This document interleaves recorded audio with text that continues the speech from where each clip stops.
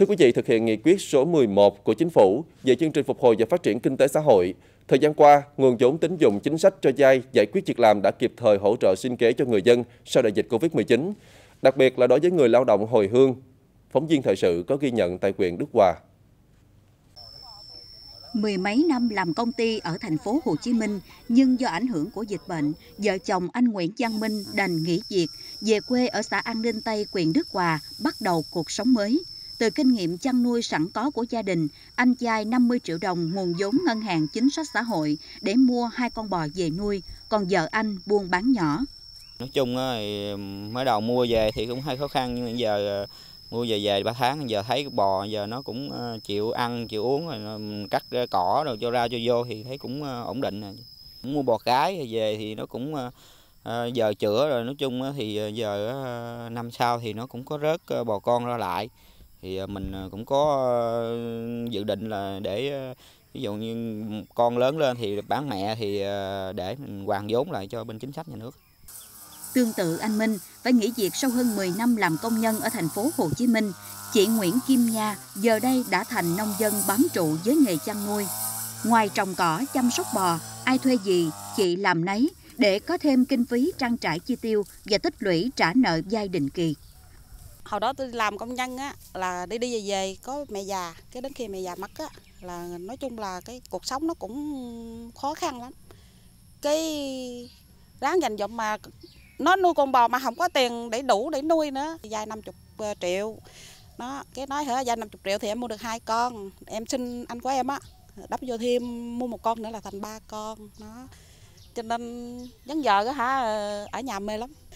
Xin đất cái trồng cỏ để nuôi mình suy nghĩ là nếu mà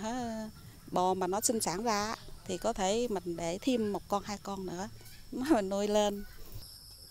Tổ tiết kiệm và vay vốn ấp An Hòa, xã An Ninh Tây hiện đang quản lý gần 60 thành viên, dư nợ 1,8 tỷ đồng. Trong đó, ba chương trình cho vay hộ nghèo, cận nghèo và giải quyết việc làm chiếm phần lớn với số vốn khoảng 1 tỷ đồng. Còn lại, chủ yếu là cho vay nước sạch và vệ sinh môi trường, học sinh, sinh viên từ ờ, việc ờ, chỉ đạo cái nghị quyết 11 của Thủ tướng Chính phủ về việc triển khai thực hiện cái nghị quyết số 43 của Quốc hội về cái phục hồi ờ, phát triển kinh tế xã hội. Thì đối với chỗ địa phương thì cũng rất là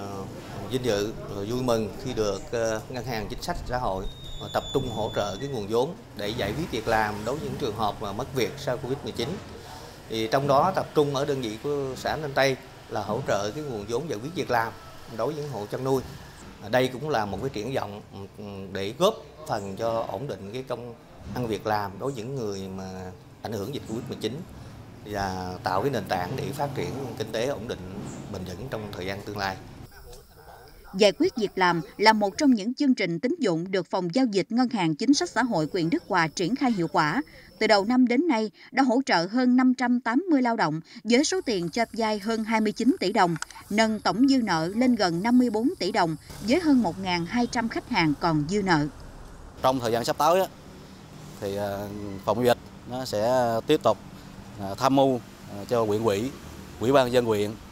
ban đại diện hội đồng quản trị ngân hàng chính sách xã hội huyện để mà triển khai thực hiện tốt cái công tác cho vay à, cũng như là về cái quản lý cái cái nguồn vốn tín dụng chính sách. Đó đồng thời cũng à, tiếp tục phối hợp với hội đoàn thể cũng như là chính quyền à, các cấp để mà thực hiện tốt cái công tác thông tin tuyên truyền. Để làm sao cái những cái chế độ những cái, cái chính sách đến với được đối với người dân giải ngân kịp thời cho hộ giai để tạo việc làm hay mở rộng quy mô sản xuất kinh doanh, giảm tỷ lệ thất nghiệp, cải thiện đời sống. Những kết quả tích cực này là động lực để nguồn vốn tín dụng chính sách tiếp tục đến tay người dân, thực hiện sứ mệnh giúp bà con khôi phục, phát triển kinh tế sau đại dịch.